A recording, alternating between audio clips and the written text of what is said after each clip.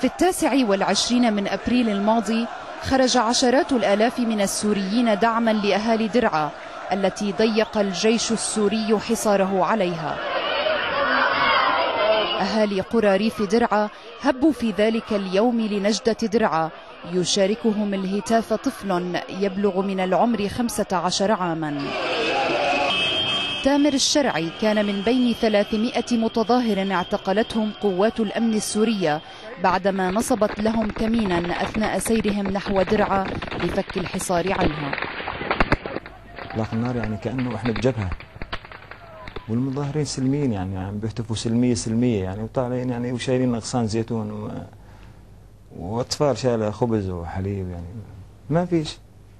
طبعا ابني ثامر بين الموجودين. تامر حمل بيده الخبز وعاد جثة مقطعة الأوصال. الشبه ما أعرف الله يا خواته كلهن ما ما ما بتعرفي شلون؟ شلون. شو شو عاملين بي؟ لا جسم لا كأني مش شيء بس شروق على الكهرباء لا جسم. وين ابني؟ وين ما مخليني شيء. ايديه سبلات تجري. عرفت من ايديه العريضات سوقات ايديه مثل ايدين ابوه جبنا اللجنه الثلاثية. الموجودات اللي ذكرناها تقريبا يا تسع رصاصات يا 11 رصاصة. هذا التقرير الطبي معي. وبثبت الشيء هذا يعني لجنة ثلاثية. ومختوم من وزارة الصحة. موثق.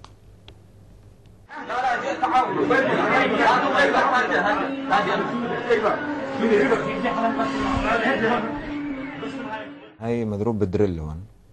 وهون في فتحة هون هيك وفي هون أسنانه في يد اليمنى هون رصاصة في هون دريل مع كسر الإيد في بالإجر هاي رصاصتين مع كسر الإجر الفخذ الأيمن ثلاث رصاصات. طبعا اللي أعطى أمر بإطلاق النار اللي هو بشار الأسد وأني بدعي عليه شخصيا. شو أذى؟ ثامر ولا حمزة ولا غيره؟ شو أذى؟ شو أذوهم؟ شالوا عليهم سلاح هذول معهم سلاح؟ إذا كل سوريا مع واحد معه سلاح